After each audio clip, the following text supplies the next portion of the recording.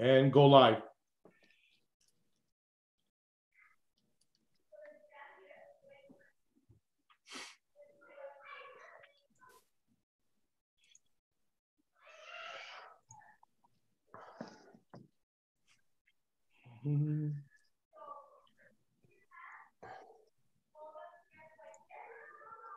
All right, guys, we are live. Uh, just so everybody knows, Carmen, uh, welcome. Jazzy, welcome. Thank you, my man. As always, we'll give uh, people a little bit of time to get their coffees, their teas, their mimosas. I we've yet to do a mimosa on brunch, and it's probably my fault because I have I haven't been able to get to uh, to the liquor store and pick up a bottle of champagne. So I, am gonna make sure I try to do that for next week. Um, as always, guys, let us know what you're having for brunch. Are you a big brunch eater? You, you know, are you someone like myself who skips breakfast? But I did bring a fruit, a plate of fruit here today, just to kind of munch on while we speak. Ah, you got some eggs going. I'm seeing the messages come in. Big, big shout out to everyone who's joining us. We're going to be starting. Um, yes, Jas is so healthy. I try, John. Uh, you know, I try. I try my best here. I'm trying to keep the the six pack going or the two four. I don't know what which one it is yet. Still trying to figure that one out. We're going to be starting at 10:35, the formal presentation, so to speak. Okay, uh, Jazzy, can you hear me? Yep. Right on. Carmen, are, are you good for audio and mic? I believe so. Yeah, I, I can hear, hear perfectly. Yeah. I just want to let you know that we also have uh, uh, the YouTube Live is now up and streaming. I just have to make some adjustments uh, for for audio so there's no interference. You do you do that. I'll I'll try to keep people entertained with entertained with my song and dance. No, not really. There's no dancing. good, good, good, morning, no dancing good, good morning, Brampton. Let us know. I mean, Simos started this on our first brunch, and I, I think it worked really well in terms of let us know where you're coming in from. Montreal. I see Kitchener. Let us know where everyone's signing in from today. It's our third edition of REC Brunch Halifax. Hope everything is safe. Oakville, Brampton, and friends. Paris, Ontario, Oakville, Mississauga. We're loving it. Keep it coming, guys. Keep it coming. We're gonna wait another couple of minutes to, as I mentioned, to get officially started with brunch keep on letting us know. Vancouver, Linda, thank Linda you. Miller from Vancouver, 7.30 a.m. 7.30 a.m. in the morning. Wow. Calgary, what time is it in Calgary? We're two hours behind in Calgary, hours, I guess? Two hours, yeah. two hours, nice. Etobicoke, Stephen Clark. Shout out to Stephen. Florida, I so, just saw. Wow, love it blueberry pancakes. Stephen Clark's doing some blueberry pancakes right now. That's good. Look, Stephen, maybe I'm we can practice some social distancing. You can drop it off in the front of my house. I can. I'll, I'll wait till you get back into your car. I'll pick it up. For, like I, we'll, we'll figure it out. I love. I love blueberry pancakes. I got my fruit ready. Rockland near on uh, near Ottawa. Well, thanks for letting me know it's near Ottawa because I had no clue where Rockland was. We're going to get right. started in a couple of minutes, guys. Make sure you get your coffees, your teas, your orange juices, whatever, your food, your fruit, whatever it is. We're going to be starting in a couple of minutes. Ah, we got a chef. Well, Carmen, you might as well tell us right now. We have people asking, what are you having? My tea, a cup of all, tea. All right. Well, that, that doesn't really make a brunch. Nice. No, you know what? I'm not uh, eating. I'm I'm intermittent fasting right now. All right, all right. I, have been doing this for about two uh, coming up to about a year and a half for sure. Um, and and and I usually break break the fast at around 12 o'clock. Is that kind of what you're doing? Yeah, as soon as uh, 12, 12:30, and yeah. um, and you know what? It, it's great. I don't I don't mind it at all. And I found myself being so like a lot sharper in that yeah. eight o'clock to about 12 o'clock time. I I laugh and say sometimes I get done in that first four hours what what I get done in a week sometimes. Like you know, I'm so sharp and ready to rock, right? Yeah, it's amazing. So I, am not hungry. I actually feel better if I don't have something first thing, and yeah. I can eat until one. It's awesome. Yeah, I feel like I get sluggish. Like on a Sunday, I'll, I'll have breakfast, mm-hmm. like a little heavier Lydia, breakfast. Lydia Gordon doing the eight sixteen. Lydia, t- t- go, tell us what that is. Let, let me just, as we wait two more minutes, um, Lydia, are, if, are you able to put up your hand? Lydia? I got Franca on here. Shout out to Franca. We got omelets being made. I, I man, I'm getting real hungry. Carmen, you and I are gonna have a problem here in a little while. Like, see, yeah. noticing what people are eating for breakfast. I'm actually getting really espresso for Tyler. Tyler probably has a couple of espressos. I, I just unmuted L- L- Lydia Gordon. Are you there? Here. Hi, Lydia. Uh, what, what's the 816 diet? Blame that on my husband. I don't know. I'm not the techie guy here. oh, we hear no, you. We can hear you perfectly. We hear you perfectly fine. Okay. Sorry. No, I don't know what's going on there. I'm typing away. I was typing and that no worries. what I typed. oh, you typed it. Oh, okay. Why aren't you talking? Okay. Lydia, tell us about this 816. I don't Is that do that. the hours in the day? And I I'm not that eater. Let me put him on. Hang on. Right on. For everyone else, we're going to be getting started in a minute. We just wanted to bring in Lydia and her husband. Don't know your name yet. Introduce yourself, my man. Name's uh, Gus Gordon, and my wife's name's Lydia Gordon. I just heard you guys talking about uh, not eating till uh, noon, and uh, yeah. it's commonly known as the 816 diet. Got it. 24 hours, eight uh-huh. hours. Uh, you're you're eating between 12 and 8, 8 p.m. And the, the other 16 hours, you're, you're fasting, basically. Love it. Got it. Mm-hmm. Well, got it. Appreciate, well, thanks, thanks for clearing that up. I appreciate you coming on live at, on the REC brunch. No well, problem. I guess we, we should get started. Mm-hmm. Welcome to everyone here live uh, uh, to the REC brunch. It's our third edition, myself and Simos. We do have a couple of guests that are going to be coming on with us today. Um, and, and in a couple of minutes, we'll introduce our guests. Uh, but also wanted to welcome everyone across the world right now who's watching live on YouTube. Thank you so much for taking the time this morning to watch us live. We really, really appreciate it. Big, big shout out to our team um, you know, it, it, they allow myself and Simos just to come in, click a button here and there, and then we get to no go doubt. live. So big shout out, please, guys, inside the uh, uh, the chat give a big shout out to the team, Tyler Tai Tai Walburn, aka our air traffic controller, who makes this all happen. Big shout out to Bobby Pume, director of operations, who uh, made sure that everything's set up. He's actually going to be controlling some poll questions as well as we go on. Um, uh, big shout out to our director of sales and marketing, Laura Stewart, Elto Stewart, um, and to the rest of our media squad uh, they're the guys and gals that allow us to again do this live do all the technical stuff in the background and make sure the recordings come out. And everything you see on youtube right now is is a collection of everyone on our media squad putting things together for us. So thank you to the rec squad to everyone at REC Canada, all of our realtors, our 25 realtors as well, that uh, uh, there's some guests on this as uh, uh, some attendees and participants that were invited from our team. So shout out to you if myself and Simos have not met you yet. We look forward to meeting uh, with you soon. So for, again, to everybody on YouTube, if you're not uh, yet been introduced to us, please in the comments of YouTube, just leave us your email address um, and, and someone from my team a little bit later on today uh, will make sure that we tell you how to connect with us. So in the comments right below, in the, in the, on YouTube Live. If you're watching on YouTube Live, just leave us your name uh, and your email, and, and, and we want to make sure that we get connected with you. And we'll talk, tell you about how you can get this recording and our past recordings. For, for the rest of the REC Nation, watching on uh, uh, in the webinar right now. We will be sending out an email uh, at around three o'clock today, three to four o'clock today. Just making sure our audio is good. I'm going to be sending out an email from about three to four o'clock today with all the information that we covered today.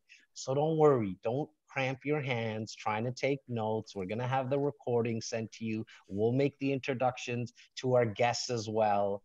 And so without further ado, I would like to welcome Carmen Campagnaro from Pro, Pro Funds. How are you doing today, Carmen? I'm awesome. How are you? We're fantastic.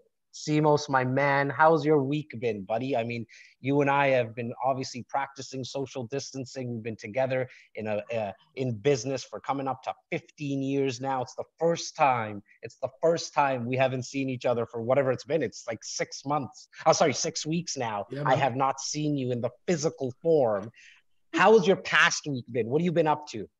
Well, it, it is so. So I am getting a little bit frustrated with social distancing.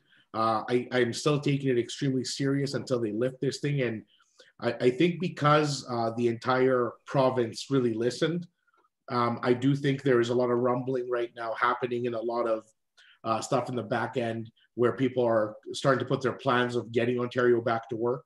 Uh, Saskatchewan's reopening next week.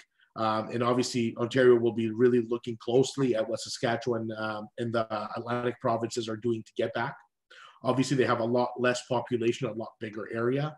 So it's easier for craziness. It's easier for craziness not to happen there. Where here, if they make the mistake and open too early and we get a flare up, we just kind of undo everything that social distancing did accomplish. Um, I personally getting a little frustrated with it. Like I'm itching to get back to my norm. Um, I don't know what that norm will be, but um, I, am a person who needs social interaction uh, above and beyond. I'm not talking about just business. Like I need to see people. I need to be social. Uh, I need to be able to go for a drive. Uh, it's just how I've been operating my whole life. So I'm starting to, to feel a little bit of that wrath. Mm-hmm. Um, I, am definitely staying uh, positive by spending some time in my backyard. Nice. Um, and, well, you got a huge, you, you got a beautiful, for anybody that doesn't know uh, uh, what Simos has built in his backyard, my man has an oasis. It's like a resort. Like I, I, every time I go there, I feel like I should be buying a ticket to, to stay there for a week. Uh, you know, has the, has the pool set up. What is that barbecue? Like happy, happy Easter, happy belated Easter uh, to you, my man. Um, what, like, what is that whole contraption that you have in the backyard to cook with? Yeah, so I imported that beauty from the motherland. Yes. Uh, and, and basically, it has capacity to put two whole animals on it. Um, when, when I ordered it last year, it was meant to, to I was meant to host Easter. Uh, unfortunately, it didn't come in on time. it was held up during between customs or some pieces or whatever the case may be. Uh, so I got it up and running for uh, June of last year. Yeah, uh, but it wasn't the same. I, I like I'm not gonna put a whole animal on uh, just for for two three people. I thought so. I just did some barbecues, charcoal, whatever, and I'll show a picture of it maybe next weekend. Yeah. But uh, this in, in, this year, of course, um, first and foremost, uh, like my, my mom had passed last year, so so rest in peace. So you're not like really and truly you're not celebrating during that year of, of, of mourning. I just thought it was I was going to do the opposite and throw the biggest bash in Canada, and then social distancing happened. So I couldn't even throw the biggest bash in Canada but I had made a promise to myself to put a lamb on that uh, on that grill, and uh, that's exactly what I did. So I had uh, my my sister and uh, brother-in-law uh, come in social distance with us. The backyard is quite large, so I, I, I mean I, they sat on the one side, we sat on the other side, and uh, and we we we put a whole lamb on it. Uh, we ate some we, we, ate some lamb. We had some laughs, and uh, that was Easter there on Sunday of uh, last week. Love so I, I, again, like all, I'll do. It's getting frustrating, but I'm still sure. okay. Like, like we're, we're we're making do and we're making the best out of it. I'd love I, to hear how our, our friend Carmen is spending the last few weeks. Actually, I've been working. Um, All right. Yes, we're considered an essential service. Is real estate? Yeah, it must be right. So we're our, our office is open. Uh, I've been coming into work pretty much every day, so it hasn't felt that different for me. We're really busy, uh, business as usual, outside of the fact that the majority of our team, they're all working from home. And we're um, just getting a note really quickly, Carmen. Is, is, are you able to just put your volume up? People want to hear that beautiful voice. There we um, go. Is that better? Is uh, let us know, guys and gals, if that's better. Sorry about that, Carmen. Go continue. No worries, no worries. So yeah, we're we're actually here. Uh, my partner and I, Richard, and um, a couple other members of the team have been working. So we're here. Uh, Love out there. Like it feels weird. Um, I can't wait for everything to get back to where we are and and continue with purchasing real estate and making money. Right. Well, well, well. Look, thanks to everybody who's signing on right now. There's there, there's hundreds of people on the live uh, with us right here in the webinar. There's hundreds of people watching on YouTube, and then there's going to be thousands who who watch this recording, Carmen. And mo- you know, there's going to be a lot of people that don't know what ProFunds does. Give us that, like, let us know. Let the people here and the people that and the guys and gals that are going to watch the recording. What does ProFunds do? Yeah, and, and you know what? It's interesting because a lot of our existing clients don't even understand what we actually do. They, okay. so, so, and why am I saying that? Because we have a few different divisions and we've been in the business for 25 years. So ProFunds Mortgages is a mortgage brokerage. Okay. And since the day ProFunds came to life, we've been catering to real estate investors and their needs for financing. And so we do anything that you need in financing with respect to uh, land, apartment buildings, uh, commercial, industrial, multi-residential, condos, pre-construction, all that stuff. So over the years, we've done that. And then we largely into private lending. So we provide the entity for borrowing and we provide uh, an entity that you can lend. So you can lend your money, make great returns in private lending, have us source and go through the due diligence. And, um, and that's basically what we do. I mean, we have all the other divisions. We have a REIT, District Property Trust, and we have our company called Valor Group, which is a development company. So it's a, it's a good combo. That's awesome. Now, from the, I want to kind of break it up and uh, uh, into in in terms of from the financing, like the brokerage perspective, and then we'll speak about how the investment aspect of it works as well. In terms of in terms of the finance, like what are you seeing right now in the world of mortgages? Hmm, it's interesting. Um, well, first of all, we're busy. There's a lot of applications coming in. Um, what happened when the coronavirus uh, pandemic was noted? Every, all the banks reduced their interest rates tremendously, and, and it was crazy. We had this influx of people looking to refinance. Now, all the institutions are overwhelmed, so things are a lot slower. Um, we are open. We're doing mortgages daily. We're doing commercial and residential institutionally. So, uh, but it's just taking a little bit longer. And now, after the first four weeks have gone by, banks are starting to tighten up a bit with their lending criteria. They want to see that you have income, right? So, confirmation of income needs to be brought to them up front because so many people have been laid off and they want to make sure that you have the ability to pay and not get this mortgage and then request a deferred mortgage uh, payment, right? So they're very uh, detailed about that. But if you have strong credit and income, you're, you're able to process things very a lot quicker. On the commercial side, many of the institutions are kind of uh, they're they're up and running and they're working. We're getting commercial mortgages done. They're taking a lot longer, obviously. Of um, course. But um, some of them are so overwhelmed with uh, facilitating the government programs that have been implemented um, of of these deferred mortgage payments or any grants and bonuses and things like that that they're offering. They're going through a lot of the institutions. So a lot of the commercial departments have been very bombarded. So they're a lot slower.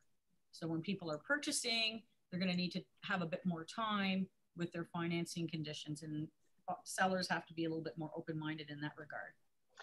Uh, we, we say it all, all the time, not only to our investors, but even first time home buyers, or if you're thinking about smart sizing, meaning uh, uh, moving into a bigger home or a, a smaller home. Call this a personal opinion, um, call this the opinion, uh, opinion of REC, but working with an independent mortgage broker is really the way to go uh, because you know if you go to the red bank they don't tell you about the blue bank and the blue bank doesn't tell you about the green bank they're not going to tell you about the best rates and the best terms around the corner. Or someone like about their best ter- their best terms. Well, yeah, right. Obviously, they're only going to speak about what they have to offer. But where some where someone like Carmen and her team, um, and maybe you can speak about how many lenders, like institutions you work with, and then we'll talk about the private lending side. But the amount of uh, uh, lenders that you have access to right across the country, it must be in the like four or 500 range or something? Like how, how many do you work with, Carmen? We, ha- we have a huge amount of lenders that we have access to. So we work for the pers- for the borrower. So um, you're buying a house, I'm working for you, and I'm going to make sure I find the best possible opportunity for you out there with a rate or something that works yep. with your current situation. So there's thousands of lenders that are that we have access to on our system that people don't even know exist, and they're great rates. They're they're not like just because you're not the big five bank doesn't mean you're not going to get a good rate or good terms, or maybe they'll even go a higher loan to value um, and, and benefit people. So also one other thing, is uh, if you work with a broker, um, you have one credit hit because yes. I send that credit bureau to 20 institutions, right? And shopping's not good, so we have to be careful. So that's right. Uh, that's big. Yeah, really big. So shopping's one of the worst things you can do if you're in the industry because pulling your credit and having different hits with different institutions on your credit bureau looks like you're shopping and it's not favorable. Look, I mean, we're in the real estate business. We're not in, we're not a mortgage company, and uh, like we don't even know all the lenders, right? And that's why it's so important, guys and gals, uh, uh, whoever's watching and listening right now. It's so important to go to an independent mortgage broker because of all the the reasons that Carmen said, and then you, on top of everything else, you get to use her experience, her connections, all 25 years of connections. I mean, I've been in this business, Simos and I've been in this business for 15 years, but you, you know, you top us in it. Um, and, and, and, feel old, okay? No, but look, you don't look it. You don't look it. But I want to. The 25 years of wealth of knowledge that you bring to the table is just it, it, it's really really incredible. And I hope everyone here watching and listening um, gets an opportunity to work with your team. I mean, uh, we do a lot of business with each other, um, and and just give your give the mortgage broker at one of Carmen's team a, a shot and and go through kind of the process. It's also really important for people to understand that what you think is okay to send to an institution um, and, and, and order to get your approval, we package deals a certain way. And I'm not saying we, we're doing anything unethically. We just have to make sure that it's in this, it's, it's a sales package. And you have to understand what are they looking for? And in that case, you have a better opportunity to get the approvals. And I, am going to go back to the shopping thing because a lot of people they'll go to different mortgage brokers and they're going to shop for, oh, I want a quarter of a point difference. Well, you should really think about a, a, really important factor is loyalty because if I get to know you and I and I've already sent your deal out over the last five years we've been working together and I know exactly what lender we've been to, you know, what properties you have, we can strategize. So for those that are looking to qualify for, you know, two, three, four, five, six, seven, 20, 20 residential mortgages, you have to work with someone that understands what you have there and have loyalty in working with that person to get far further ahead than shopping for a quarter of a point. So there's so many things to talk about there. Just curious, what's your thoughts? And and, and you know, Simos is the only one that I know that does really have a crystal ball um, in his home. So he's the only I do. one. But I do. Let's pretend. Let's pretend that he lent lent it to you, Carmen. Um, What's your thoughts of what's going to happen with rates in the next six, you know, short term, medium term, six months, maybe out to call it a year? My gut, my intuition, yeah. my crystal ball is that they're going to stay low. Um, I think they're going to continue to stay low. A lot of focus on keeping the rates low and motivating people to continue to buy real estate uh, to keep our market somewhat stable. I'm, I'm ready. Oh, he got his crystal ball ready for you. That's all. okay. Hello, where are you? no, he just needed to bring that crystal ball. this is going to be a permanent prop for me. Yes, so, it, as uh, it should be. So, so I, I, was talking to the crystal ball last night. Yes. Uh, it is by the Smithsonian. so, so I was, I was speaking to the I was speaking to the crystal ball last night, my prediction is by June we're going to be, I believe, um, even malls uh, might be open. Um, I do think that by mid-May they're going to roll all uh, essential services back to the office, meaning uh, put on your mask, put on your gloves, uh, uh, make sure you're practicing uh, the best that you can in social distancing while you're out and about. But I do think they're going to roll back the offices in the next two to three weeks uh, where there's going to be the government goes back, where um, the, the, private sector uh, all essential. So so the first so the first ones that were that were sent home are going to be the last ones coming back. Yeah. So your malls, your retail, like where where, where people are car like cinemas, uh, golf courses. I think those are going to be the last ones to open. Um, but I do think uh, the first ones to go back are going to be obviously all the sectors of government, the medical sectors, your optometrists, your all the all the ones that were kind of put on emergency only are all going to go back. Um, and uh, by I think mid May, uh, we're going to see kind of uh, a returning workforce by end of May. I think we're by end of May, end of May, mid June. I think you're going to have your uh, if in fact the, the, the, the, we've seen the peak and they can really go to that, I think we're really going to see a return of the workforce. Um, and I think over the next six months, then you're going to have uh, your your employment sector starting to normalize and getting back to those uh, le- levels. Um, I was on a webinar yesterday, guys, uh, where the RBC uh, chief economist was on. It was put on by International Home Marketing Group. Shout out to Elliot Tobe. Uh, if he's on here, uh, he put on a tremendous webinar. And the RB, RBC's chief economist said uh, they typically uh, do a quarterly update where they're talking about 30,000 jobs gained or lost, and that's going to make and break a quarter and go into the song and dance. Uh, there was a million jobs lost last month. Uh, and if, but of course, uh, they weren't lost because of economical reasons. They were they were lost because of a specific um, event. So it's a it's a event driven, and as soon as the event is kind of behind us, we're going to see some kind of a return. Uh, but, but now, look, I mean, of, sorry, I was going to say, Simos, to your point about unemployment. I mean, unemployment. I think the last number that I've seen was 15%. Somebody can maybe uh, um, correct me if I'm wrong, which is obviously a very, very large number, but that also tells us a story that 85% of people are still employed, right? And so are you seeing that as well, Carmen? Like the, the, the calls that you're receiving, are you seeing that that that most people when they're putting in an application, they're working? Yeah. Um, I, am gonna just revert back for a second. We had an economist uh, interviewed as well for our company to put some uh, peace in our investors' minds. And uh, he was saying the same thing that basically, um, you know, what, what Simeon was saying is that in, in by June, things um, are going to come back around and it's not going to be doomsday guys so it's not that and and just be at peace but most of the people i'm speaking to i mean there's I, there's two extremes i have people coming to me saying oh my gosh this is absolute devastation doomsday and then i have people coming to me and saying oh, i'm moving on with my investments i need to get a mortgage i need to do this and for the most part people are are employed um, I think it's just most most of the service industries that are suffering right now. Of course. Right. So, but ultimately, they're going to go back, and hopefully, a lot of them can persevere through this time, and hopefully, the government will uh, put something in place to help them financially so that they can get back up and running, and then we can get back to business. Um, a hundred percent. Uh, I just want, I just have one last question because I want to, I want Carmen to really dive into some of the private financing, ways to make money, uh, etc.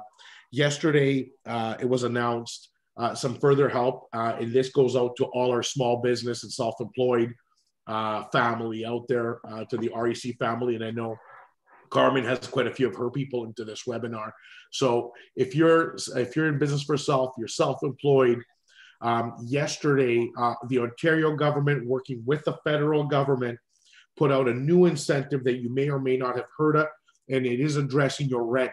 So if you own a restaurant, a small business, if you own uh, a space that you're leasing, if you're operating your business out of a leased space, they have finally brought an update to that world. People were getting drilled and killed. Um, and uh, I'll share my story if we have time at the end, uh, because I'm personally, uh, with along with one of my partners, uh, are, are building a restaurant in Yorkville right now, and, we're, our rent is 10, 15 grand a month. Um, and uh, unless something goes into place, like we haven't even been able to start a restaurant, we're just building. And if you got to pay 15 grand a month and you can't even do construction, you're going to get killed quickly. So the, the government has now just brought some incentives into place. Um, if you're, if as long as your landlord agrees to work with you and they provide 25% relief, the government will provide 50% relief and you as a tenant will provide the, the remaining 25. So if you are looking for more information regarding these programs or want to discuss your situation because you feel us as commercial brokers as well can assist you in negotiating some of these terms with your landlords, please reach out after. It takes us a minute to go over your situation and give you some advice.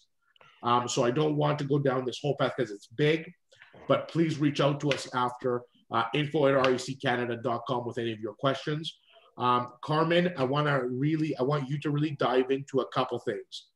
Um, uh, a lot, one of the one of the polls Uh, our polls are open, by the way, uh, uh, right now. So if you look at the bottom of your screen, uh, there's a bunch of really funny questions that are nonsense, but we just like to have fun with. But there's some serious questions in there. Um, one of them is Are you shaky in your boots in defense, um, worried about the future?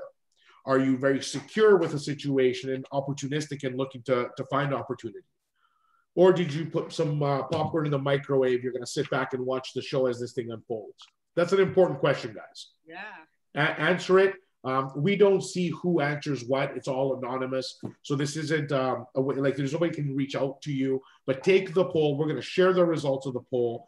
And if you are on the defensive, reach out to us. We can give you some pointers on what to do the best in defense. If you're on the offense, take a look at some opportunities. If you're sitting back and watching, we'll give you some more popcorn to do so and tell you exactly what to watch out for to set yourself up.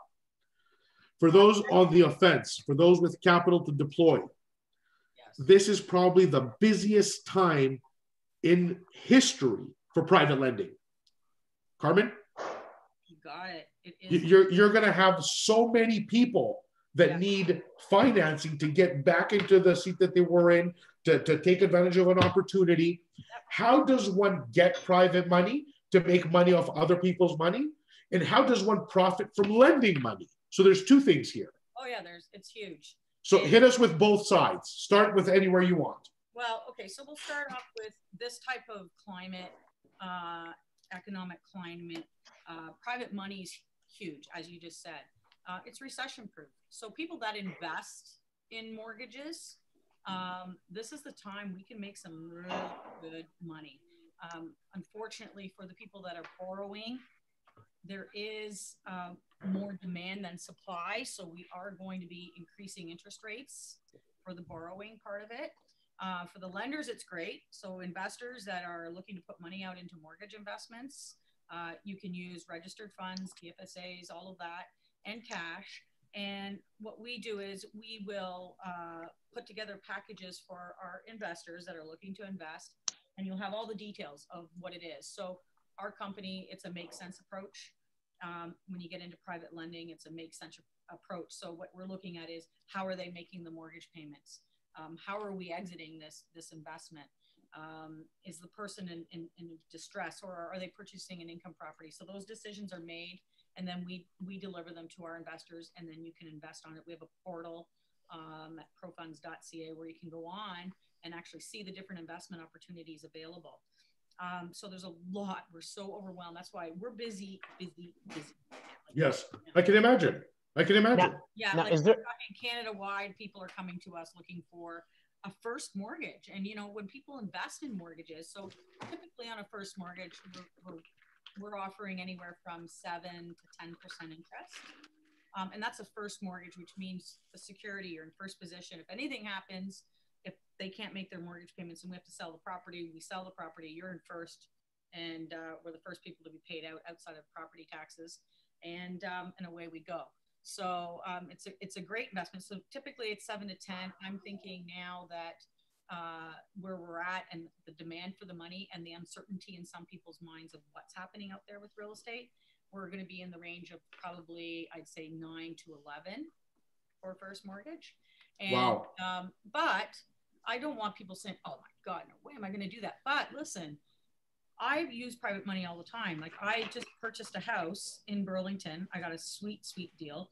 Um, and it's a single family home. I, I paid, you know, two, probably 200 grand less than what it should have been. And, wow. And wow. Yeah, I got an appraisal. So I got an appraisal at a million and and I paid 755 for it. So I can lend somebody, this is a great example. I can lend people money on the appraised value. So as long as we're the ones that have ordered the appraisal and we know what that value right. is, um, I want to make sure our investors are safe. But um, we can lend on that, and uh, and then you know it's it's an awesome opportunity to do these things. I'm sorry, I want I want to go back a step. Yeah. You said as long as the appraisal is mine, as long as I know that I said my appraiser, I know the value. Yes. What what a lot of people don't know is the amount of control you have in private lending. Yeah. Can you speak a little bit like start with so for anybody that's on here that's never invested in a, in a, in a private mortgage meaning that they have let's say i have a hundred thousand in my rsp or, or or or in cash it doesn't matter but this is rsp eligible mm-hmm. so let's say i have 60 grand in my tfsa 60 grand in my rsp uh, and i know that Jas Takhar needs a loan for 100 grand yeah so you as a broker you're, you're going to call you're going to call me and say hey i have a client his name is Jas he's a real estate broker He's looking for a hundred thousand bucks. Um, would you like to do this mortgage? Mm-hmm. What should I be asking? Okay, I'm going to say sure. Who is Jas? Tell me a little bit about Jas. Right. Tell, and, and what is he putting up? Give me how that would work. Right. So, so the questions would go like this. First of all, where is the property located? Um, and what type of property is it? And uh, we determine that. So if it's a residential, let's say it's a condo or a home, um, that you're looking to purchase. Um, what we would know is want to know is what type of property it is and is it owner occupied is it a rental property what are your plans with the property um, how what's your income like are you able to make the mortgage payments um, and what are you what's our exit how are we getting out of this? And and when? And when yeah. So typically private money is one year okay? So when you're lending on an individual mortgage it's typically a one year term. And if people have some sort of a challenge or they don't want to have to service that mortgage, we often can add the interest payments for that one year term to your mortgage so that you don't have to make payments monthly. So that'll help out a lot of people when they're doing flips or renos or anything like that, or are in a situation where they have a ton of equity right now and they just want a cushion right now because they're not, they're uncertain. So we can get some money for you. We can even do a second mortgage if you like. Um, and we're going to be a little more conservative on the loan amount that we're going to lend you versus the appraised value of your property. So we, we would go up to 85%. We're at 75, 80 right now, just to be cautious. Mm-hmm. And the appraisals that are going out are going to be based on today's current market. Is there is there a minimum investment for investors? Um, yeah, like most of the time it's around 50,000, but we can do 20, 25 if we want to help people out get get started in this business. And I wanted I wanted to just confirm you said that you can also invest registered funds as well. Yeah, absolutely. So I, am not sure if people caught that. There is ways that you can invest uh, uh, your RSPs into real estate. It's not only through a first-time home buyers plan that everyone thinks that it's the only way to take out uh, uh your RSP to, to, to purchase real estate. No, there is, yeah, you don't. It it stays in your RSP. That's right. Stays in there and you just have to move it. So most institutions right now are not. Um, so if you have it with RBC or if you have it with TD, you're going to have to move it to uh, a trust that lets you actually self-direct your money into mortgage investments. You make the decision on what kind of an investment you want. So I'll send to you, Jas. Here's a, a deal. Uh, this guy needs a hundred grand. We've checked his credit. Here's his credit. Here's the appraisal here's what's in place. This is his plan. We have a little story. Um, and if you want to do the deal, you say, yeah, Carmen, I love that. Sounds great. I'm going to make 12%, 13% on my money here. I'll do this deal all day long. So then what we do is we have your money self-directed from community trust is who we use uh, because they're very easy to work with and it's not so challenging. Um, and then what happens is a lawyer works on your behalf. So you as a lender now um, are going to be signing a bunch of paperwork. Then it goes off to a lawyer. The lawyer checks title to make sure everything's safe so that you're secure and your investment is registered on title on the property. And then the mortgage payments start coming in, or you'll get your interest up front. Uh, that was my question. So that 12 to 13% that let's use keep on using my name. Everyone's picking on me today, so I love it. Um, how is that paid? Is that paid to me at the end of the one year term if it's a one year term, or is there is there a way that I can actually get uh, um, um, interest paid to me monthly? So um, it's up to you. In, in okay. most circumstances, we'll say, okay, this person doesn't want to have to have the monthly payment, but we're going to pull aside an interest reserve. We're going to put that aside for the full 12 months. So we are a mortgage administrator, so we can make the decision. Do you, or you will make the decision, do you want your payments monthly because you've got a line of credit to pay because you borrowed to lend? Or do you want your money all up front? And uh, you can make that decision. Now, if you obviously take the money up front, your real investment is a lot less per se. Right. So yep. your return goes up. So it's all about what you need as an individual and what you're like. If you got a line of credit and you're borrowing at four percent interest as a line of credit or on a mortgage at three or two and a half, you can put out your money at 10, 12, 14, 15, 16%. And you make the difference on that. So now, so much to talk about here. Lo- love that, guys. The the eh, all the questions that you guys have please keep them in the q&a section so we can yes. make sure that we get to them um, if there is a couple of questions that we do not get to um, again you're going to be receiving an email around 3 o'clock 4 o'clock today that will allow you uh, to, to, to, to, get introduced uh, to carmen and her team and i know carmen anyone that's introduced by rec you'll put the white gloves on for us yes. as you always do but you, yes. you'll just make sure absolutely we yeah, are going that you are from REC because that's important for us to know. Thank you. We really, really appreciate that. Carmen is going to stick with us, okay, for a, for, for a little bit longer. Get your questions in the Q&A section. In the meantime, we're going to just bring up, uh, uh, bring on, I apologize, Charles JQ from Millbourne Real Estate to discuss um, a current opportunity. So we went out to our REC Nation um, between myself and Simos in the last couple of weeks. We've been all over all over social on live um, uh, Zooms and live Facebook feeds. And, and people are asking, hey, guys, can you look out for opportunities and please bring them to us? And so, Charles JQ from Millbourne Real Estate, we've been working with him and his team for the last 10 years now. Um, seems like it's even longer. Um, and, and he's going to come on and talk a little bit about uh, a project that is in Oshawa, where we have a handful of units. They have a handful of units right now um, that have a rental guarantee. It's a student housing uh, project. Welcome, my man. Charlie. There's that. There's that handsome Charlie. Stop that. How are you? Guys, here's so the funny thing. Me. Here's the thing. We're so lucky we still have Carmen on the screen. She literally brings up our our our what is it called? Like our quota like in terms of our look. Like look at this screen. Thank you let, for let, let me, staying let me on make, with us carmen. Without you we would be in trouble right now. J- jazzy let me make one note because i yeah. saw the, the nicest manicure of all time. She has yeah. the fastest color nails i've ever seen. Show those beautiful purple beauties right there.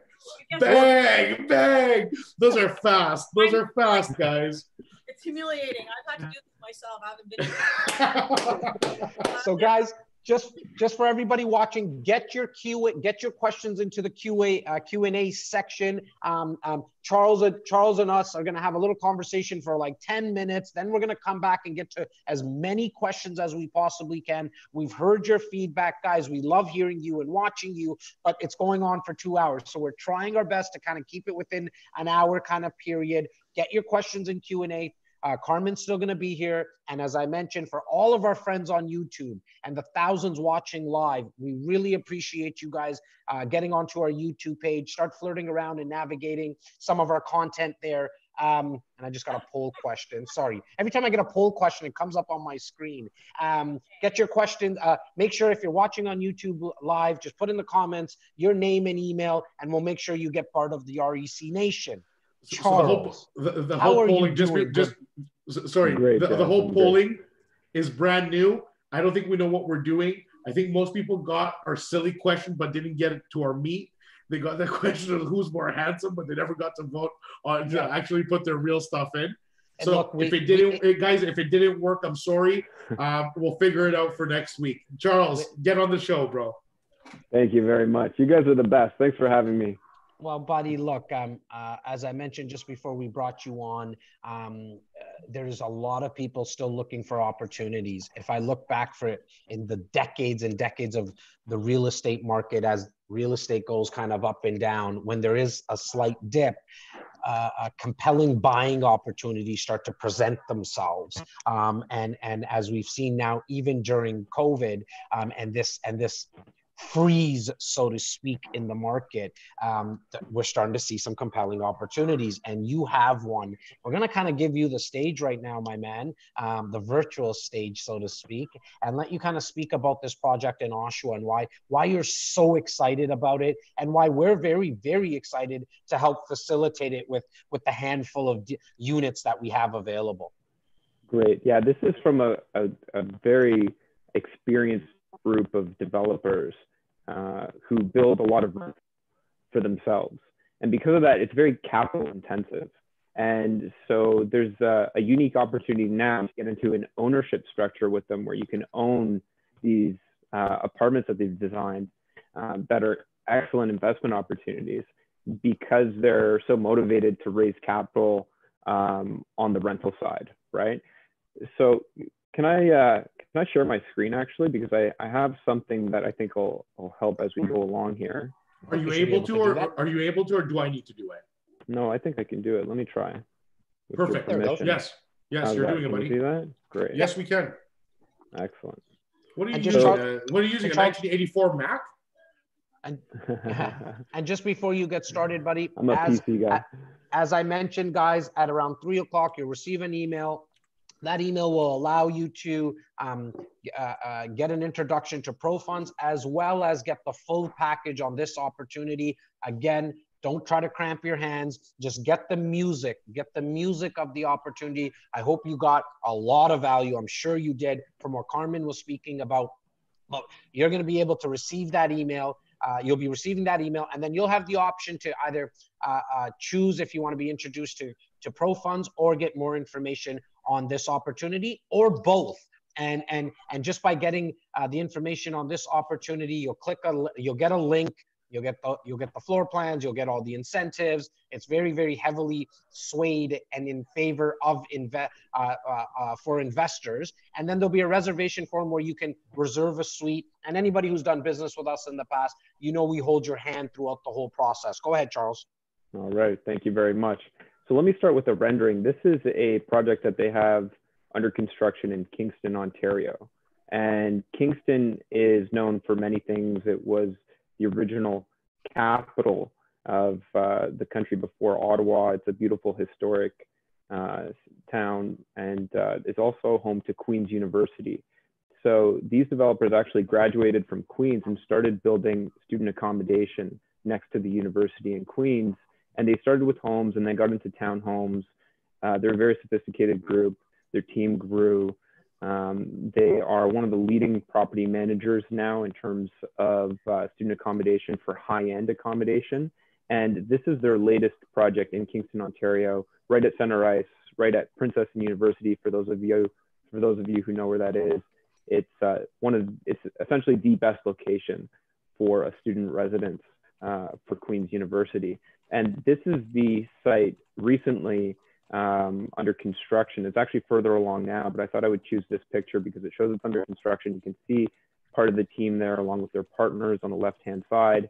And uh, so they've since expanded out of Kingston and they've been developing all over. So Oshawa, Barrie, uh, this is a project in Miami. This is a very large project. This is the rendering.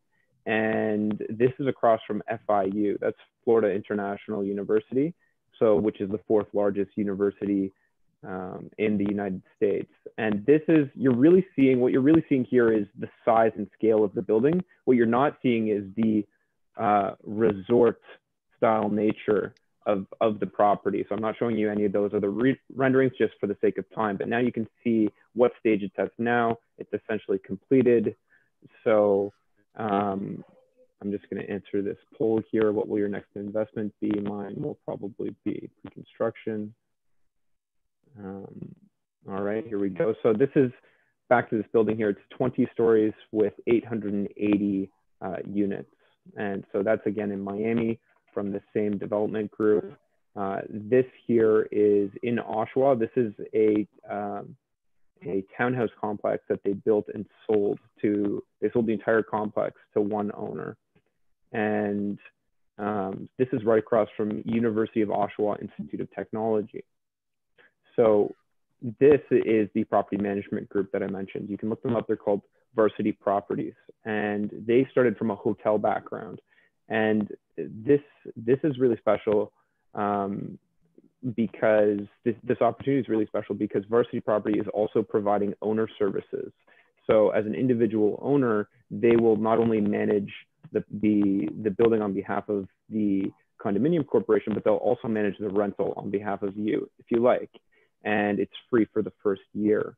and and after that you they, they charge a percentage on the rent and that's 14% but it also includes cleaning services as well like i said they came from a hotel background and the beauty of the cleaning services is on a monthly basis you have people that are coming into the apartment to clean it the students love it it's a premium service but they're also keeping an eye out for any deficiencies in the apartment you know is the student doing well are, is there anything we need to take note of to report back to the owners so this is a really, really special combination. And this is part of the same original group that grew out of Kingston, Ontario. So this, I wanted to start with a map here, right? So this is Simcoe Street that runs north-south. And there's Conlin Road, which is the major intersection uh, that runs east-west at the top of the screen. And then you have Durham College and University of Ontario Institute of Technology. So Durham College has around 9,000 students. UOIT has around 10,000 students and they have big plans to expand because these this is a technology oriented university it's been referred to as the mit of the north and there is a lot of students that are competing to get into this campus. So they have a master plan expansion plan uh, all the way out to 2030 for expanding the size of the campus. So the next slide here this is an aerial image of essentially the same area. And I just dropped on a few of the logos here so you can see how active Podium Developments has been in the neighborhood and also highlight the two uh, communities that we're featuring here with this opportunity. So you can still see the university there on the northwest side and the Taylorwood Towns is the first logo on the top in white and that one was sold in our community. And then below that, you have university studios and university towns. And as you can see, these are essentially a budding campus. This is about as close as you can get to campus and surrounded by a low rise neighborhood. Now, uh, Charles, yeah, I, I, just have a quick question for you, man. Sure. A lot of people, uh, when you, they hear Oshawa, they think blue collar. When they hear Durham, they think blue collar. Uh-huh. When they hear Oshawa, they think GM. Um, right. That is so old how many post secondary institutions are in Oshawa alone now? Well, I think well right here we have Durham and UOIT. And and I think I, I think I know where you're going with that, right? Because the the campus is it is such a an institution in itself that it generates its own microeconomy right. in the surrounding area, right?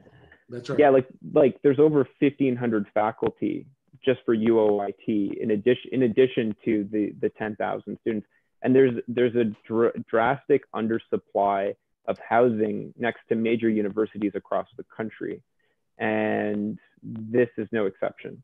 And especially with the expansion plans that they have in place, and and the only options that students really have are to drive far away. And so um, and since students have been saving their whole lives or their families have in order for them to go to school, especially with these types of schools that are so competitive, you have the best students competing to get in. They're investing their lives at this stage. This is like the most important stage of their life.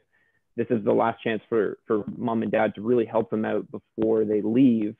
Um, they're willing to pay a premium, especially if it means that they get to focus on their studies more. They live closer to campus they have their own apartment. They have their own um, they have their own suites with laundry and and kitchen. Uh, you know, they're coming out of first year residence. They're sharing a bachelor apartment with someone else. So now they have the opportunity to own their own bachelor apartment and not have to go down the hall for the showers and not have to live in a seven bedroom house that, you know, isn't well maintained or, or to drive for 20 minutes to get to school. And so um, this is a premium accommodation and they attract premium rents uh, and they're quite popular. Now, these two communities have recently been completed. So University Towns, which is uh, right here uh, in the middle, just, just on, on the south side in the middle there, that was just registered in March and University Studios was just registered last year. So these are brand new. They're also fully furnished as well. Jas, I thought you were going to jump in with something there. I was going to say, no, like it, it, that's very important to mention because you have, and I apologize, I have the, the poll always coming up. Um, you, you have an opportunity to invest into a project that's already built. It's built, in fact, majority of the units that are in both complexes, um, um, in the townhome complex and, and, and, and in the condo project. Uh, maybe you can tell me, Charles, is it like 90% occupied already? It's fully occupied. it's fully occupied. I apologize. Um, and so you as an investor, you're going into a project that is a already built and b it's already rented and just and and and REC was able to go back to the builder and say, look, I mean, the time that we're in right now, please we need you to put your money where your mouth is and offer us a guarantee. So if any of our clients get into this project and you'd be closing on this at some time like end of August, and and as an investor, you're going to be looking at anywhere from 20 to 25% down, but that's even spread out from now until August we want to make sure that our clients are protected from a tenant's perspective. And the builder um, and the developer came back and said, we'll give you a one year rental guarantee to make sure that you have the comfort in knowing that that you're not going to have any issues with with tenants. That's right. And that's in addition to the one year free property management by Varsity Properties. I, well. Yes, yes. And, yeah. and and do these come fully furnished as well, like both projects, if they go on the condo and the student housing? Uh, sorry, they, the, the, the, the townhome they, they, they do, they do. And this is a beautiful thing, right? Because fully furnished, again, provides a hotel style living for a student, right? They show up, all they need is a backpack, a laptop, some cutlery, their bed sheets, but there's it actually serves multiple purposes, right? So uh, it provides a premium accommodation for the students, so they're now going to be paying premium rent. Uh, but also, a lot of the wear and tear on properties comes when you're moving in furniture uh, as part of the move-in. And one of the beauties of student housing is that you're not going to have a tenant there for 20 years. They're cycling in and out every two, three, four years, so you can raise your rents, right? That also means that you have a little bit more turnover, maybe.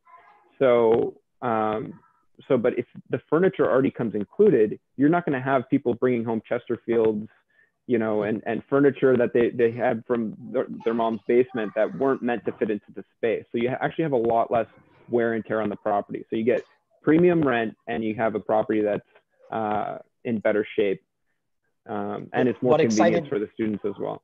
What excited me about both projects is the pricing. There's pricing yeah. that I haven't seen for years with ones in front of them and for, for, for bachelor units. That's and right. Yeah. Like I haven't seen a one in front of a purchase price for a very long. I've been in this business for 15 years. Um, that's for bachelors. It, it's, for, it's been a while. It's been a while. Yeah, it's been a while. Um, I mean, in fact, I mean, if you look, think about it, parking spaces downtown right now are going for $110,000, right? Um, and so if you can look at a unit, maybe in the mid ones, high ones um, for a bachelor unit, and then for three bedroom townhomes, uh, the, the, we have one townhome, I believe, Charles, in in the town. Uh, that's a three bedroom. And then is there something that like that that is a three bedroom in the condo complex, or are those all bachelors? Okay, this is a good question because there's a bit of an overlap in the product types between the two communities. So essentially, okay. what you see what you see here on the screen right now is the campus, right, highlighted in blue. That's UOIT. The yep. Taylorwood on the right hand side, that's something they built in the past. They sold the entire community to one owner. Okay, so what we're talking about now is University Studios. This is an older image, so now it's actually completed and built. And directly south of that would be Towns. So Studios is all studios. Okay, Towns is um, stacked townhomes, three bedrooms. I'll let you get into the details on the pricing on that offline but the pricing's phenomenal. I'll just say that it's around 400,000, okay, for a for a three bedroom townhome. And cool. yeah, very nice. And, well, and well, uh, the, the other thing I liked about the townhomes with the three bedrooms that they each come with an ensuite as well. So they're rented out separately, but they they're fully furnished as we mentioned, but uh, each bedroom has its uh, has a full ensuite. That's a good point. Yeah, that and that's something that you'll see uh, from from some of the leading student housing owner operators. That's how they tend to design their properties. So the, the studios uh, community is all studios. The towns community does have a building that has studios in it. So it's a bit of a hybrid, right? So, so, but that's just a matter of like which address are you getting essentially because the product is really the same. Either it's a townhouse or a studio and it's essentially the same location as you can see here. So here's the campus map along with the two communities just to the south of campus. You can see studios is literally abutting the edge of campus of UOIT and University Towns is just below it. Now, I'm, i was talking about, you know, the, the reputation of, of this group, of this development group and Varsity Properties, um, everything that they've accomplished. They, they have such a good relationship with Starbucks. I hear that they have one of the busiest locations in the country uh, next to the university. So they actually have a Starbucks uh, location that's already moved in. They have an Osmow's shawarma. They have uh, Domino's as well, uh, pizza. Stop it! I'm getting hungry, Charles. Right I'm getting hungry. I'm getting stop it. Uh, so, all right. So, I, I, just have a couple questions. Can I, can I just? Yes, jump in. How, how many units do we have available? We just, at this point, we really just have a handful. This is a really unique opportunity. These buildings were completely sold out and done. And in talking with Jas, we were looking for something special. And there just, there happened to be the right time. For some reason, the developer had these under their hat. And like I said, they're in the rental business. And when you're building rental, it takes more equity. So Jas, we we made we made a deal. So now we can offer okay. something very so, special. So, so let me ask a question: Is there because these are student rentals? There's all these crazy components uh, that that make this, uh, in my opinion, a no-brainer. The price point is right. The proximity to secondary schools is right. Is there any um, anything we need to know about the financing? Because we have Carmen on the phone. These are closing in August. So somebody right. says they put up their hand, I want to get one. How does financing work? How would Carmen uh, get the financing done on this property? Is it conventional mortgage? Give us some detail and some give us some context around that. Can I jump in first, Carmen? So, so yeah. the um, the townhomes are easy. That's something that you'll have a lot of different selection uh, with, and and Carmen can speak to that. The the studios, not every bank likes financing studios, right? The banks are slow to move on things and uh, on new trends. And as the pricing's gone up in the city, we've started to see more and more of these smaller suites in Toronto. And the banks have, haven't really, they've been pretty slow to adapt to it. Um, and this is an entire building full of, of, and it's student housing as well, right? So if a bank thinks that it's going to be like when people hear student housing, they think of the issue of student housing, right? Which is what makes this such a great opportunity. The issue of student housing is the student housing accommodation is so terrible, typically speaking, because there's so much demand from the schools, you don't need to maintain it, right? So banks approach it very, very cautiously.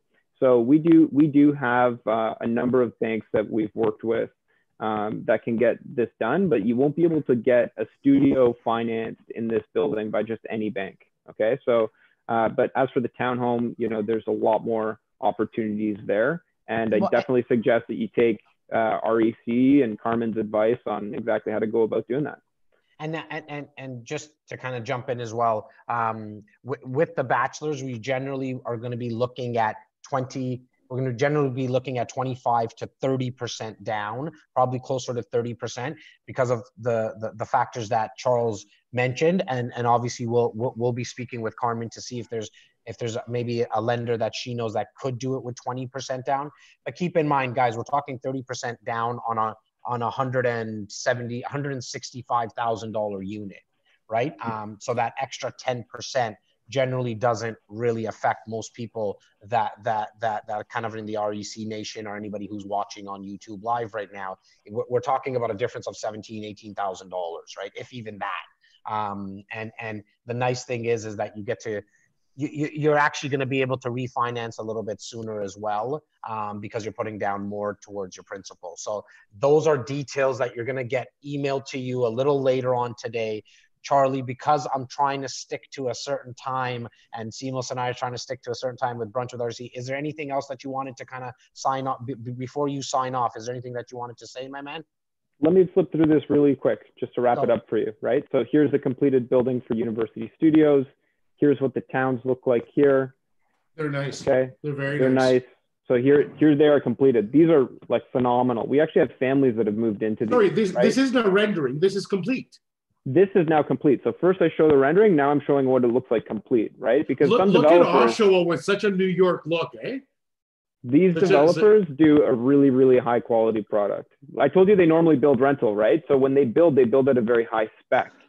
So that's good. If ever you're investing with a developer that builds their own product, there's a good sign that uh, they're going to build high quality. And in the back of this, you see the townhomes on the left and right. In the back of this image, you actually see that studio building. So that's technically part of the complex of townhomes, but you have the studios located there. I'm going to keep flipping through this. This is pretty much almost done. So then this is the townhomes with the studio building on the left, all part of the townhome community. This is what the bachelor apartment looks like.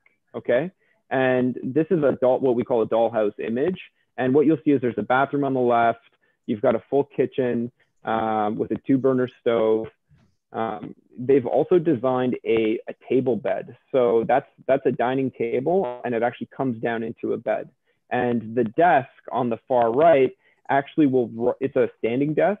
So it, you'll actually be able to press a button, raise it up to the same height as counter height if you're looking to extend the amount of surface area that you have in your kitchen. I'm gonna keep flipping through here. Here's a, a typical plan for the studios. And I'm just breezing through it. And Jas, you have everything on your side. I have already. everything in the Yeah. in the email that comes through to you guys at uh, around three o'clock. You'll be able to click the link, request more information. All this information will be there, as well as in that Google uh, folder. You'll see a reservation form. You just fill out the reservation form. Let us know if you're interested in the bachelor or if you're interested in uh, a three bedroom. I believe to be exact, Simos, you asked the question on how many units. Um, I think we're at about four units right now. Um, it could be five, but I think it is four units in total. Um, and so if you are interested, get the reservation form in. That doesn't mean you're buying something. That means you're going to get on a call with someone from my team, um, including Charles. We'll, we'll, we'll actually, I'll have him on a call as well because he knows this project very, very intimately. He'll be able to answer any questions you have. And then if it makes sense in your portfolio, we then move to the next step if anybody's been done anything with the REC Nation in the last uh, uh, 15 years, you know that we really hold your hand throughout the process because you know peeling back the business curtains, uh, uh, peeling back the curtains in terms of business development. We know that if we take care of you the first time, you're more apt to introduce us to your friends and family. You're more apt to the calls after you do the first investment with us is usually like, Jas, just pick a unit for me. I don't really care. Like I'm good to go. So, but that starts with us taking the time up front. So just by putting in a reservation form, that doesn't mean that you're actually purchasing anything. You're trying, you're reserving a unit. It's it is on a first come first serve basis because we have hundreds of people online right now, obviously. Um, um, and then anybody who's listening to the recording probably won't have uh, uh, an option to get in. So it does pay to come on live at Brunch with REC. Charlie, thank you so much for your time, your knowledge. I know you. I know you said that you'd be more than happy to uh, get on calls with our team as well. Uh, sorry, uh, uh, any of our clients and investors, just to walk them through it. So I thank you very much for that, my man. Charles, Thank- thank you so much. Thank I'm you. gonna I'm gonna take you off the panel to make the other uh, the other pictures a little bit bigger for for everyone. Uh, thank you so much for your time. Thank you for providing this opportunity to the REC and to the REC Insider family. Um, Carmen, just before we take uh, we take uh, Charles off, do you have any questions for him, or you think it's pretty self-explanatory for the financing on the townhouses? Um, yeah, I think he nailed it. Right on. So, so, so um, I'm just going to put you back on the attendee list, Charles. Uh, thanks again for being here, pal. Thanks, Be Charlie. well, everyone. Thank you so much. Be well. Just for the sake of time, maybe we'll pick out um, uh, two, three questions. I think, I think Carmen, you being you and, and, and providing so much value, I think you went into the Q and A already and started answering questions. Yeah. Um, you are the bomb. Thank you. As we're trying to be very, very efficient and effective. We know it's a Saturday. We know how many people have uh, uh, already given us uh, an hour, a little bit longer than an hour of your time. But why don't we pick a couple of questions? Maybe there's a couple of questions that you might be able to notice, Simos, that never got answered. Why don't we answer a couple of questions live right now? Uh, sure thing. So uh, let's take a look here. Uh, we are in a STEP Scotiabank program. I know the program very well. I'm actually uh, do uh, increasing my step personally um, with, the bank, and this is um, again the, the times are insane as far as if you had established lines of credit uh, where you don't have to go through any really steps other than a new appraisal. Uh, Scotiabank has a step program, great program. Are we locked in with them for our mortgage vehicle with it? When it comes with renewal, I've been told that we are. I would like a second opinion. You're absolutely not stuck anywhere. And Carmen, this is a great question for you. Uh, we are in a step program, uh, which is the line of credit. As you pay down your mortgage, it becomes a line of credit. Right. Uh, are we locked in with them for when our mortgage vehicle uh, comes up for renewal? When it comes up for renewal, you're not locked in, No, no, no, correct? Yeah. So- and so- it it also depends on the terms that you take. So, um, you know, a lot of people ask, do I do uh, a fixed versus a variable? And at any time, even if you are locked in with a variable rate, your your penalties are very low. So it's worth it for the most part if you have a higher rate to to break it and go for a new one. Um, sorry, Carmen, you have to get closer to your mic. Uh, people cannot hear, and um, Okay. and that's big. Uh, what I'm also going to do, I totally forgot. I almost took Tyler's job, and he gets paid very handsomely to do his job. Tyler Walburn, get on this screen and do the Q and A with Jas and Carmen, please, and myself. Where are you? Let's pick two, two more questions, and then we, as as if your questions did not get answered, um, know that we'll go back in and answer all the questions. We'll get to you for sure. Tai Tai, air traffic control. Where is you? Oh, by the way, I want to mention, I know you had this project on and our company does projects as well. That is not our project, right? So I just want, No. if some of my clients are on listening, that it's not related to Pro Funds or Valor. This is separate entity. Hey, Tyler, how you doing, brother? Hi guys. Real quick, Uh, hello. I'm enjoying the sun outside while messaging Nice. everyone. Wow. We have the puppies here. awesome. Hi, job, puppers. brother. Awesome. Ty, So, why don't you pick a couple of questions, my man, and throw them at us? Let's do it. All right, let's do one here from Otto. Can I use my RRSP to invest in a down payment? Can I then JV with the borrower? Um, you cannot use your RSPs as a down payment.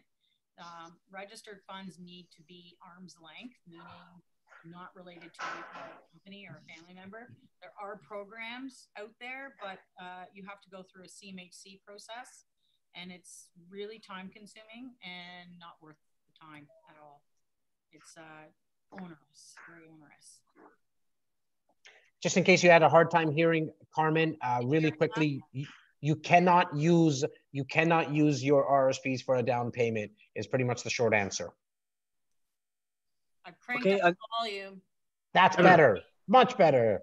There's another question here from Hassan. Hello, Hassan. Um, what should be a strategy for someone who wants an income property but also doesn't own a home? Um, should they take advantage of the first-time home buyers plan uh, after that and then invest in an income property? Or should they just start with an income property? So should they take advantage of owning a home first and then investing or go straight for the income property? Um, J- Jas, you want to take that one? I can take that one as well. Doesn't Yeah, matter. look, look. I mean, every situation is different depending on what you're trying to accomplish. Um, you know, in your life, um, where you're working, so on and so forth. But I always like to think about it from the perspective, and this is my personal opinion, that you you you don't necessarily need to own where you live. Okay, um, and so having an income property, I think, is the first goal, in my opinion. And the reason being is because you're going to get somebody else to pay the rent. You know, your personal, your principal residence is not necessarily an asset because there's, you know, you, you have to, co- it costs money to maintain it. And so I know a lot of people, in fact, the uber, uber wealthy, they generally don't own where they live, they rent. However, they make sure that they do have income properties. They have tons and tons of homes, but they rent them out because they want to make sure that someone else is paying it down. And then you could leverage more as well. So that's my personal opinion. Again, Yeah. every situation is different. You'll get an email uh, later on today. Just reply back to it. And I apologize. Was it Hassan?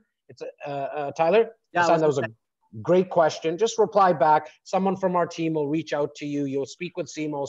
Um, he'll, he'll, he'll get in touch with you um, and really work down your specific question. Because again, every situation is different. Yeah, and, and to Hassan's point, just quickly, if you're if you're just trying to get started, Hassan, the biggest part of the question would be answered is: Are you living at home with your parents? Because then, if you if you can get a property rented out and you have a place to live, it's a no brainer. But if you're paying three three grand a month to be in a one bedroom downtown, and you're going to buy an income property that's going to generate you two thousand bucks a month in rent, you're really not you're not going anywhere. You're, you're not getting there fast. So it is very individual, as Jas was saying. But um, if, if you want to schedule a time to chat due to your personal situation, we're happy to do so, pal. What's the next question?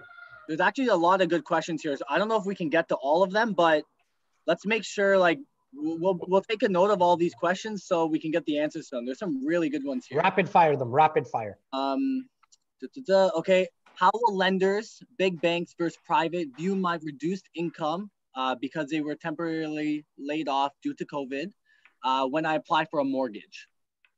Okay, well, Uh, that's a very good question. And what they will do is determine whether or not the layoff is permanent or whether or not you're going back as soon as things are lifted.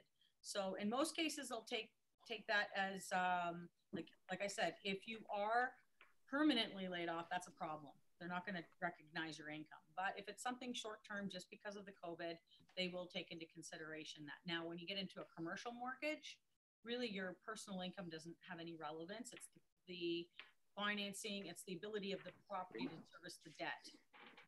Yeah. So it's yep. not your personal income. So if you have problems with personal income, maybe you want to move into the commercial space. Okay. Um, what I want to, uh, Tai Tai, only because it's 1145, um, there's two things I wanted to do. First of all, if there's a lot of great questions, Ty, what we can do is we can do a video after where me and Jas fire off some uh, some rapid fire and share it with a group. We can share it to everybody who was on here.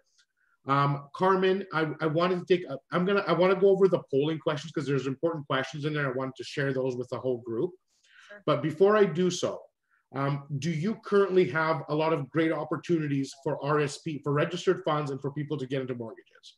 Absolutely. So, so, so, so Jas, Jas, can you please share where people can go for, for, for getting no. on the list as I as I mentioned, there's nothing to. Uh, uh, you, are not going to be going anywhere, guys. You'll get an email in the next few hours, and Good. it's very very self-explanatory. Good. At any time you don't get this email, and the email will be subject "Thank you." Okay, it's from REC Canada, the same email that you received um, uh, uh, the links to the webinar. It will be subject thank you. If for some reason you don't get it by three o'clock, it's probably in the ether or cyberspace or in your junk folder, you can call uh, uh, 1833 join REC.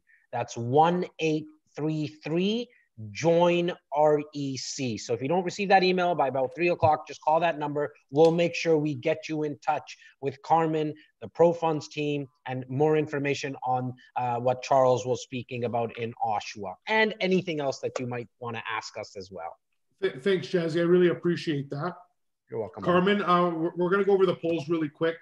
Uh, I'm just going to start with obviously the silliness. Who is more handsome? Uh, I won that competition in the landslide. Well, that doesn't landslide. count because you're reading, but you're reading the answer, so doesn't I can't matter. even see if you won that or not. I don't even know. It, it doesn't that. matter. I, I won in the landslide. I'm so handsome. I just can't believe it.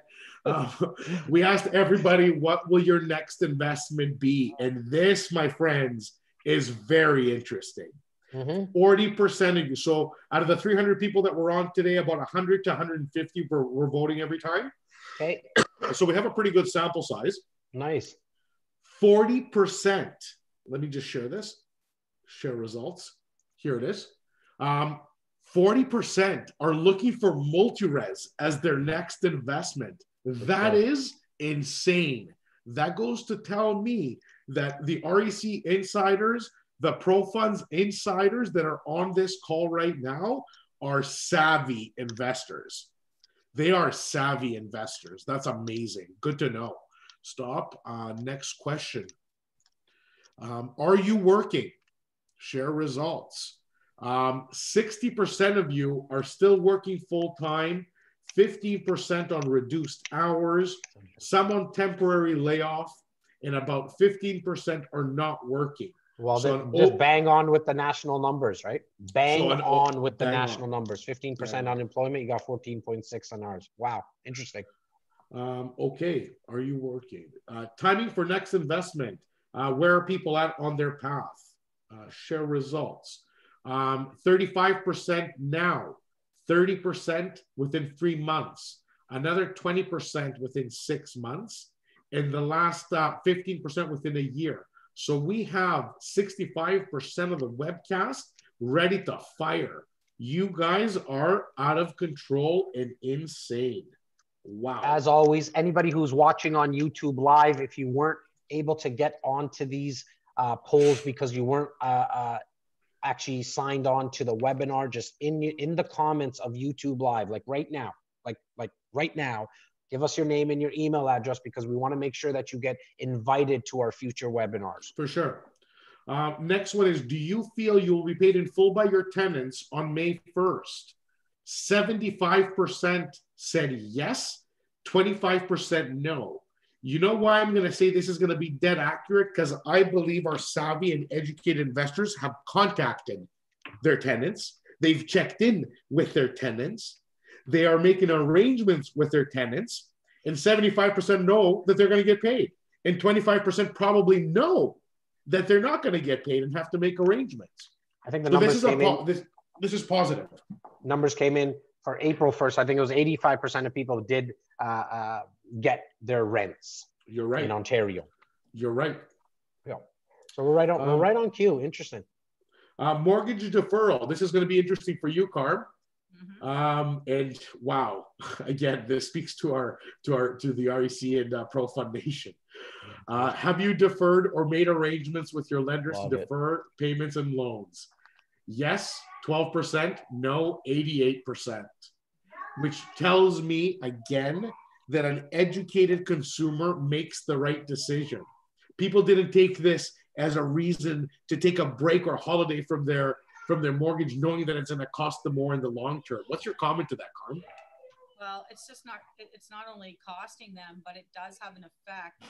Even though they say it's not going to affect your credit, it's it's just the whole concept of character. And I think that if people are looking to, you know, get uh, their mortgage deferred and the bank says, oh, we'll do it, but there is some sort of a feeling there that I think you're just damaging yourself asking for it. If you can make your payments, pay it. And um, less lessen the amount of questions that are going to the bank so that they can do their job and put out money. Awesome. Mm-hmm. awesome. Is there any more poll questions, Simos? There is. There's the one, the the big one. Okay. How, how do you feel the current market conditions as a result of the COVID 19 shutdown? So let me share this. So you were asked, how do you feel? Are you on the defensive? Are you on the offensive? Or are you getting your popcorn and chilling to watch? And this is interesting. Only 6% of this 300 plus people, six, because this is the sample size, I think it's dead on 100 then. Yes, it is. So out of 100 people, only six on the defensive. Yeah. So we have a tremendously positive mm-hmm. and and and optimistic, optimistic outlook. Yeah. Yeah. yeah. Yeah. So on the offensive is 54% of the room, guys. They're well, pouncing on opportunities. I think it speaks to speaks to our REC nation, the Pro Funds nation, uh, Pro Funds insiders, friends and family of ours. You are who you who you who you uh, uh spend a lot of time with. I can tell you the first time that uh, Trudeau mentioned that we should be going on lockdown. Um, I mean, I went totally, totally all in on everything because I knew that's when the opportunities were going to start presenting themselves. And not just from an investment perspective, high level business was okay, this is where this is where the leaders are going to come out from at this time period. And we're seeing it within our own our own families in our nation right now. You know as uh, carmen mentioned earlier she just hunkered down. This was the time to hunker down and and and do more.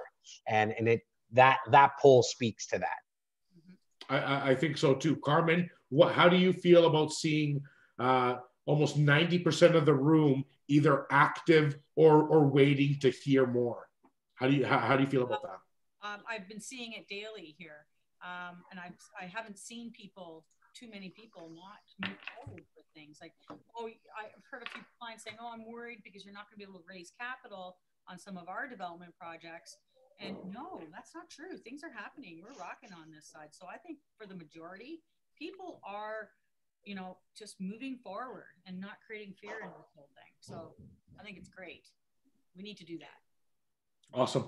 Yeah. Carmen, what do you want to leave the the, the, the, the viewers and the listeners today with. It could come from any angle, a mm-hmm. mindset angle, a, a tip on investing, um, whatever knowledge you feel like dropping to everyone who's watching and listening today.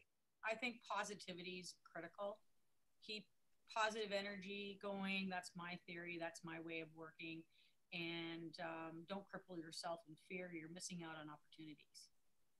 That's what I Simos, my man, what's what's that one tip what's that one thought you're having that you want to leave everyone with today uh, as i said in the beginning i'm starting to struggle a bit Uh, so I'm gonna I'm gonna pray for uh, myself uh, and all, all, our audience to keep uh, to keep a, a, positive outlook on everything, to tough out the course. We can't quit and make mistakes now when we're talking about the invisible enemy, which is something like a virus.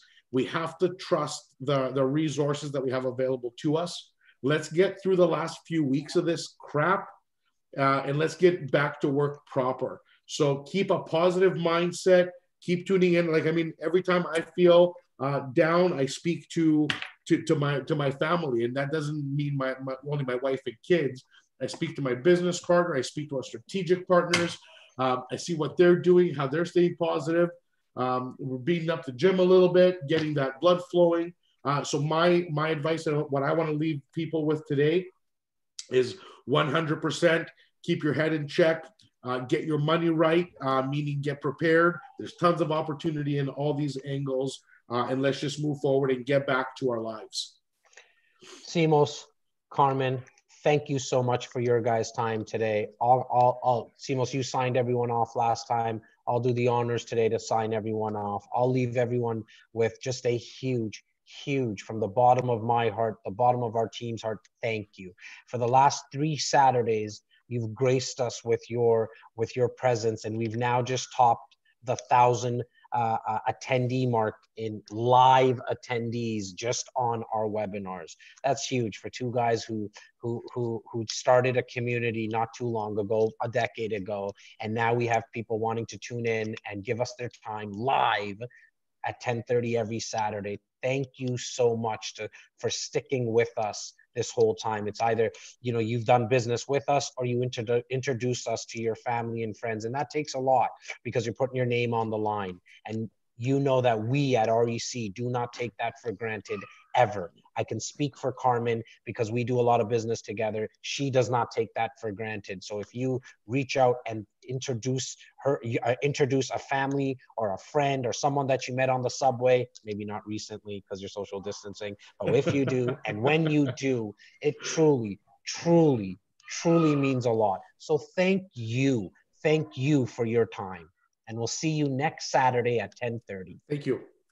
Bye, Carmen. Bye, Jas. I'm going to end this now, guys. Everybody have a wonderful weekend. You too. Thanks.